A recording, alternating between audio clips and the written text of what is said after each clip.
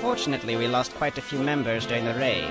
Got a little bit of a situation.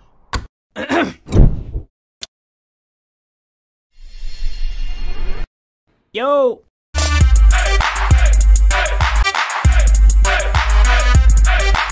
We've captured your leader. They got him. Now. What do we do?